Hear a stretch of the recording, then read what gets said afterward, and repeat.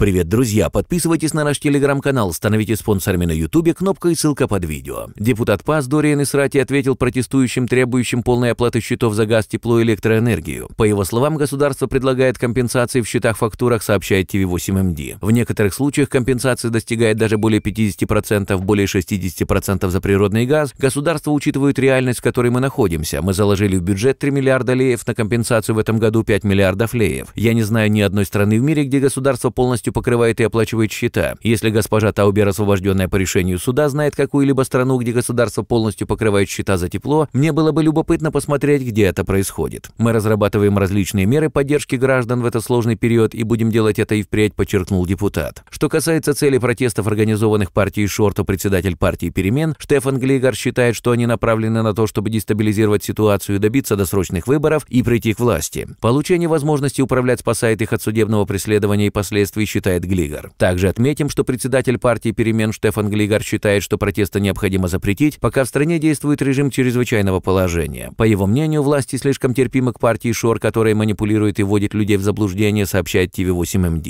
Я думаю, что правительству пора положить конец этой игре и использовать инструменты, которые предлагает чрезвычайное положение. Через комиссию по чрезвычайным ситуациям в период ЧП, вводимого из соображений безопасности, должна быть запрещена организация акций протеста, в частности, инициированных организованными преступными группами группами, такими как партия ШОР. Это должно действовать в течение всего периода чрезвычайного положения, сказал Штефан Глигар. С другой стороны, депутат от ПАС Дорин Истратий сказал, что протесты не будут запрещены, потому что это будет означать нарушение прав человека и принципов ЕС. Учитывая, что мы сейчас находимся на пути к Европейскому Союзу, имея статус страны-кандидата, то ЕС внимательно следит за каждым нашим шагом. Одним из важных условий в ЕС является соблюдение прав человека, в том числе на мирный протест. Я даже не знаю, сколько уголовных дел открыто по факту незаконного финансирования партии. В демократической стране нельзя запретить людям протестовать. Внутри ситуация находится под контролем. Призываю население к спокойствию. Государственные органы делают свою работу, и так будет и дальше. Создавать искусственную панику никому не нужно. Осенью у нас была такая же ситуация, когда была попытка дестабилизации. Органы свое дело сделали, подчеркнул Дориан Истратий. Председатель партии «Перемен» считает, что правительство не должно быть столь толерантным, пока людей вводят в заблуждение и мобилизируют темными деньгами. Позволить организованной преступной группе вводить людей в заблуждение, манипулировать ими и направлять их против общества общественных интересов безопасности и стабильности, экономического развития, игнорировать эту ситуацию или позволить ей развиваться, ссылаясь на соблюдение прав человека в ситуации, в которой эти люди мобилизированы непонятными деньгами, я думаю, что мы проявляем слишком много терпимости, сказал Глигор. Депутат ПАС ответил, что тот, кто нарушит закон, будет оштрафован. Каждый гражданин, нарушивший общественный порядок, будет наказан. Все задокументировано. Мы остановили потенциальную волну дестабилизации в стране. Если они будут еще сильнее нарушать закон, то и государство будет жестче в своих действиях согласно выданному мандату. Сейчас сейчас их можно запретить, но ЕС наблюдает за нами, и мы должны уважать право граждан на протест, заключил Истратий. На этом я с вами прощаюсь. Подписывайтесь на наш канал, жмите на колокольчик, а также не забудьте написать свое мнение в комментариях. Теперь газета всегда с вами. До встречи. До свидания.